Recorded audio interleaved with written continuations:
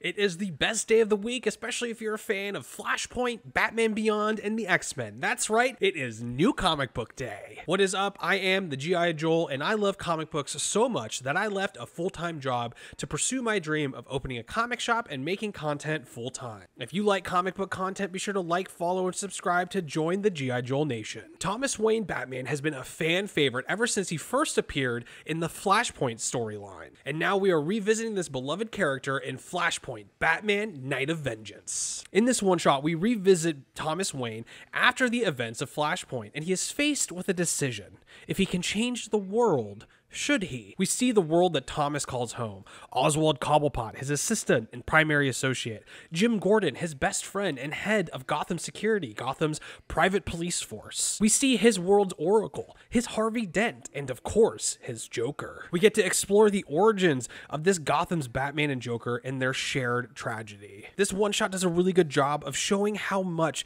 the death of Bruce has affected Thomas Wayne.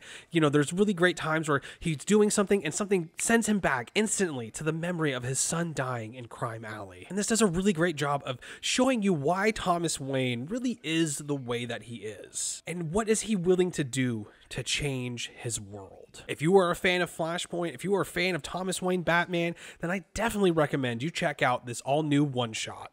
The Rocketeer, The Great Race, issue number one. I was a huge fan of the Rocketeer movie as a kid. It's definitely like an unknown kind of Disney classic, but it wasn't until I got older that I learned of the Rocketeer's comic book history. And this issue is a great intro to the character of Cliff Secord and the Rocketeer. We open up with Cliff Secord listening to the radio as there is reports of Nazi sleeper cells in the hills of California. Cliff does what he does, he puts on his Rocketeer garb and he flies out to go face this new threat. But while fighting these Nazis, he is shot down and his life begins to flash before his eyes and he begins to wonder, is he done being a hero? Is he done placing his life on the line? And what should he do now that he's decided that he no longer wants to endanger himself? There's also a great history section in the back of this story to help you learn more about the Rocketeer and his long storied history in American media and comics. I definitely recommend that you check out The Rocketeer, The Great Race, issue number one we have an all new mission for Mutant Kind's pirate crew, this time in space. We have Marauders, issue number one.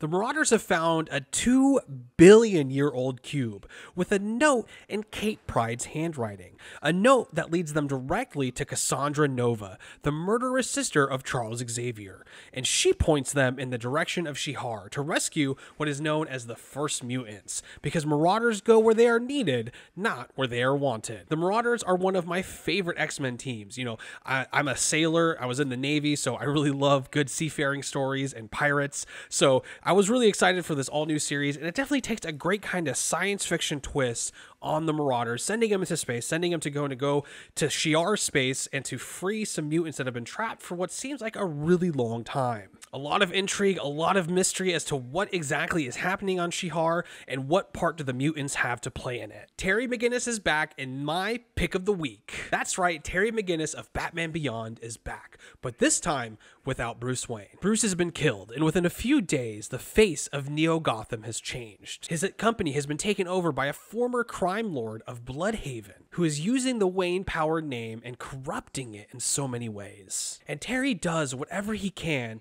to keep Bruce's legacy intact. Because despite everything, Batman endures. There are new threats in the streets, and old friends are hard to come by in Neo Gotham. I am super excited to see what the future has in store for Terry, especially because we're seeing him in a situation he's never been in before, one where he is alone. He is driven and singularly focused on maintaining the mantle of the Batman. And I loved everything about this issue. You should definitely check it out. The artwork was fantastic, and it really reminded me of the Batman Beyond animated series. So if you're a fan of that, if you want to see what Terry is up to currently and, you know, the DC continuity, I definitely recommend you check out Batman Neo Year number one. Mutants on Mars. That's right, we have X-Men Red number one. If you're not up to date with all of the goings on of mutant kind, currently one of their major accomplishments has been terraforming and colonizing Mars, now called Arakko. X Men Red follows the story of the mutants of Mars you know, they're very different than their Krakoan kin counterparts. They are a little bit more violent, a little bit more,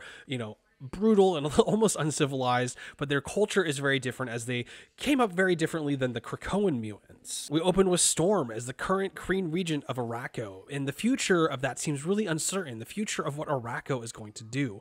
We also have Magneto arriving after abdicating his seat on the Quiet Council, and he's come to Arakko to find seclusion. And the mutants of Mars might be very different than those of Krakoa, but one thing that they have in common is the need for a team of protectors and leaders. Now, should that team be an X Men team from Earth sent to Mars, or perhaps something else? This was a great read, a great science fiction kind of take on X Men. I'm super excited to see what this series has in store, and you should definitely check it out when you get a chance. As always, you can shop all of this week's newest titles at gtxcomics.com, link in the description below. What did you pick up this week? What are you excited to read? Let me know in the comments. I would love for a chance to connect with you and get to talk comics. Be sure to like, subscribe, and follow to join the G.I. Joel Nation, and I'll see you at the next video.